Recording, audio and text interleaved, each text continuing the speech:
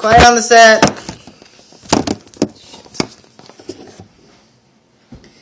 Hey everyone, I'm Rafe, I'm Cody. and this is Crystal Ball Review. Crystal Ball Reviews. Crystal Ball Review. A very And special today episode we have a special Ball episode. Reviews. Yes. We are reviewing a movie this time that we actually have seen. Well, if you don't know, this could be the first one that they're watching. Okay, basically what we usually do is we usually watch trailers and guess what it's going to get on Rotten Tomatoes from a trailer. But however, this time we actually saw the world premiere of, Much Ado About Nothing, the 2012 edition by Joss Whedon. and Joss Whedon. we uh, we actually only got there like ten minutes before, and um, we didn't think we were going to all get tickets, but then we ended up scalping on the street and getting in. And we sat right behind the actors. It was wonderful. We ended up sitting two rows behind Nathan Fillion and like every single actor in the movie.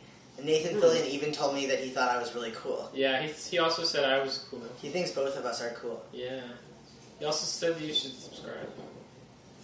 Anyways, A little bit of news on the station. We've got our first subscriber.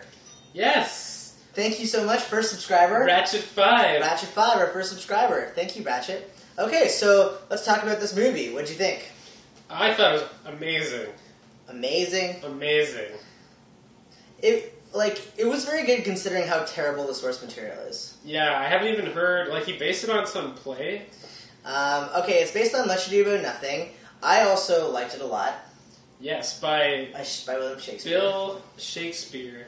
Um, and and so tell us uh, why you liked it, Cody. Uh, well, here's the thing about Shakespeare. Shakespeare, like, it's good for its time, but when I'm in it, I'm usually bored. But this Shakespeare, like, he took it, he made it easily understandable for anyone in the audience, uh, and he made it funny. It was actually one of the funniest comedies I've seen all year, probably. But why was okay? So so it is a comedy, obviously. Mhm.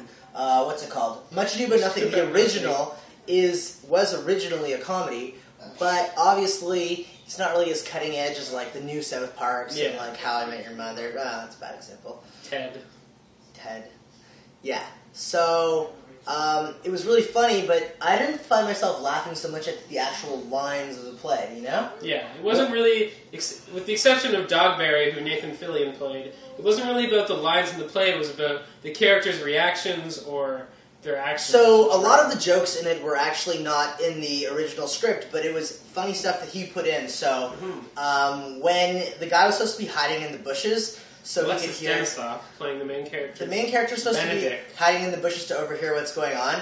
But like they had him like ridiculous. It doesn't sound that funny to say, but like they had him doing like ridiculous things and hiding in like very open and obvious scenarios. Yes. Or like he should have clearly been able That was to be probably seen. the funniest scene. Wait until you see it, it'll be much funnier. The funniest part, and this is a bit of a spoiler, I guess. Don't say it. The funniest line in the movie. Well, it's not really a spoiler because it's Shakespeare. Yeah, Shakespeare spoiler.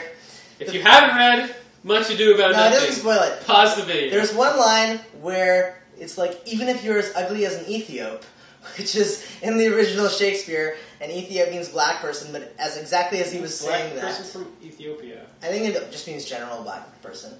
Okay. Um, and when when he said that, there was like a, they put a black person in the shot listening to it. and she was like giving a weird look. yeah. So I mean, So- it's hard to describe why it kept was the funny. original text, but It was hard to describe why it was funny. Almost all the jokes were not actually um, in the Shakespeare, and like some, some sometimes they were making fun of Shakespeare a little bit, like what was going on. don't Like think so. I Rafe thought that, but I didn't think that was. they're making fun of the ridiculous plot to put on a mask. Oh yeah, that part. That part they were actually. yeah. Where in the play they don't recognize them because they're wearing masks, and they just have these ridiculous things on their heads to make it seem like it's not the actual character.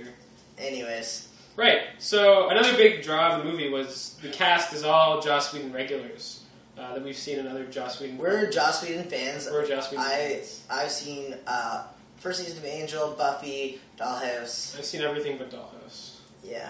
Um, Firefly, so uh, pretty much every single Joss Whedon person is in it. Every property is actually represented. I think every Joss Whedon media property.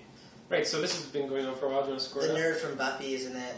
Tom Lenk. Nathan Fillion is in it. Nathan Fillion, Tom Lenk, Amy Acker, Alexis The Denisof, second Watcher Clark from Buffy Gregg. is in it. who played Agent Phil Coulson in the Avengers. Um, so it was kind of a love letter because I guess what happens is like none of those people on their own could ever be a draw in a movie. No.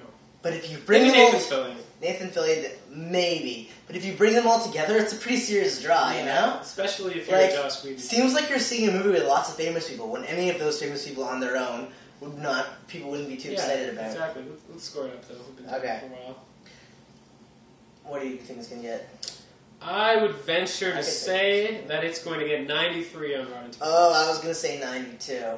I can't imagine hardly any critics not liking this yeah, movie. I don't see anyone not liking it. Who is? It could get higher. They might be like, oh, uh, like we heard someone there said, oh, the Kenneth Branagh version was better, but the, But that one, like other, other than stuff. that, other than that, That we, don't- we don't see anyone saying negative things. This is movie. below average. Like someone could not love it, but I can't see anyone. being like, oh, that's terrible. It could get like 96. The crowd was exploding in laughter at every joke. So The thing is, though, the thing about the crowd is like those were serious Joss Whedon fans. yeah, but still, they're not serious Shakespeare fans. Yeah. Yeah, it's going to get a very, very high Rotten Tomato score. And that is Crystal Ball Reviews. Uh, subscribe and, you know, be a friend of ours. Yeah, Don't do that. I don't have Um, many friends. subscribe to us and, you know, watch other videos. All right, thanks for watching. Very excited. Joss Whedon, if you see this, You're great. send us a message. We like you. You got a nice beard. Nice beard. Also, that nerdy guy from Buffy is cool. Tom Lake. Tom Lake. All right, see you later.